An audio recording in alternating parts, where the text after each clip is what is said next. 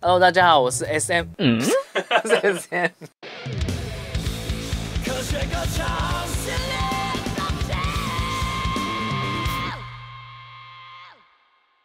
Hello，大家好，我是 S V 的乐乐雾老师啊。今天这一集很特别，我们要来讲动圈麦克风的评测。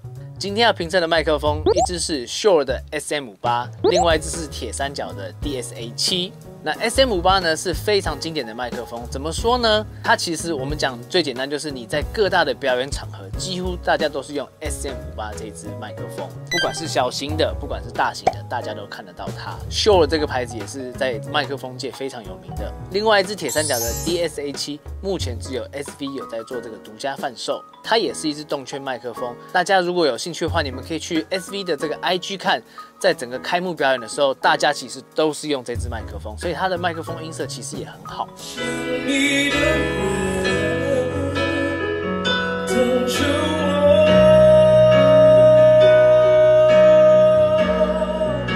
今天评测呢，主要我们会在两个地方做这个评测，一个就是在 SV 的录音室，也就是一个非常专业的地方，整个录音室呢都有做声学处理，在墙壁上都有这些吸音板，呃，麦克风收到的声音也会相对的清晰。那下一个测试的地方呢，就是在一个大家日常生活的环境中，可能听得到外面车子的声音、交通的声音，甚至是有一些喇叭，甚至救护车、消防车等等的，那你也会听得到空间的声音。那用这个部分让大家感受。动圈麦克风收音的效果是什么样子？在我们正式进行评测之前呢，我们先讲一下到底动圈麦克风跟电容麦克风有什么不一样。一个是它的指向性，收音的指向性。对电容麦克风来讲，它收的方向比较多；对动圈麦克风而言呢，比较是单一指向性的，也就是心型指向性。第二个是灵敏度，灵敏度呢也就会决定说你今天这支麦克风会收到多少的声音。对于电容麦克风来讲，在一个环境下，它可能收到的声音细小到你吞口水都听得到，甚至有时候呢，你开了电容麦克风，你还可以听到隔壁房间的声音哦。对于动圈麦克风来讲，它灵敏度虽然没有电容的好，可是它有它的好处。你想想看，在各大场合表演的时候，歌手为什么都是拿动圈麦克风，而不是拿电容麦克风？也就是他们希望只有歌手的本身的声音可以被收进去麦克风里面，那大家就不会听到很多奇奇怪怪的空间音，或者是乐手的声音这样子。你说音质在上面有什么不一样吗？其实没有差太多。接下来呢，就邀请我们今天主角。铁三角的 DSA 七跟 Shure 的 SM 五八，让我们先来听听看，在专业录音室里面收到的声音是什么。I have a dream like Martin Luther King，成为一个 rapper，让全世界都听到我声音。Brave enough to pay the price like Christ died for my sin，向着标杆直跑进入 Promise Land。I have a dream like Martin Luther King，成为一个 rapper，让全世界都听到我声音。Brave enough to pay the price like Christ died for my sin，向着标杆直跑进入 Promised Land。I have a dream like Martin Luther King，成为一个 rapper，让全世界都听到我声音。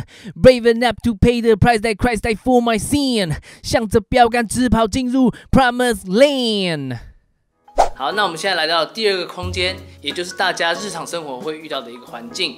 大家可以听得到，在这个地方呢，空间残响比较多，甚至还可以听得到马路上这个车子的声音。话不多说，我们就来进行测试。I have a dream like Martin Luther King，成为一个 rapper，让全世界都听到我声音。Brave enough to pay the price that Christ died for my sin，向着标杆直跑进入 Promised Land。I have a dream like Martin Luther King，成为一个 rapper，让全世界都听到我声音。Brave enough to pay the price that Christ died for my sin，向着标杆直跑进入 Promised Land。I have a dream like Martin Luther King，成为一个 rapper，让全世界都听到我声音。Brave enough to pay the price that Christ died for my sin，向着标杆直跑进入 Promised Land。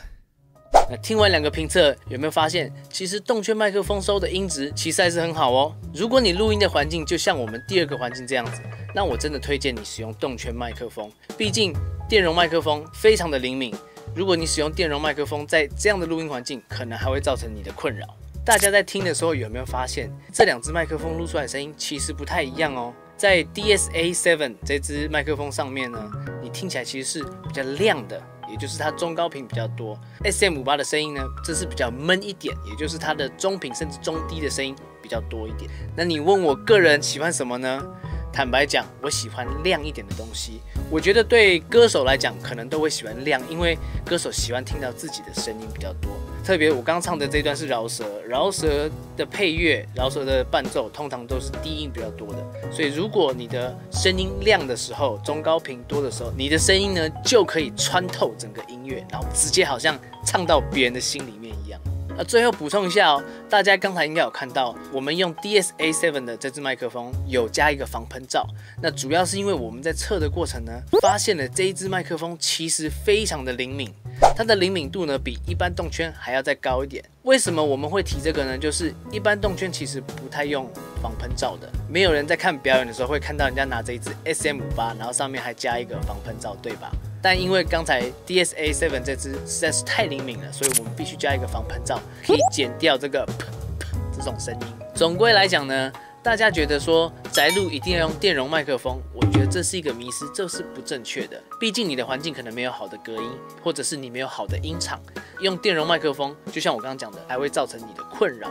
如果你想要一支音质不错、灵敏度又好的动圈麦克风，那我跟大家推荐铁三角的 DSA Seven。这支麦克风你可以试试看，而且它的价格也不贵，甚至可能比电容麦克风还便宜。如果你喜欢这个影片呢，记得订阅 SB 科学歌唱，还有音乐学院。那今天影片就到这边，我是 Little Wu。